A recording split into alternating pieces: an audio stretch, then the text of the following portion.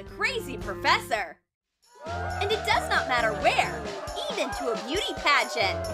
He can hide from the professor behind these dresses. Wait, why did Justin become a girl? Mm. That's how the red bar works.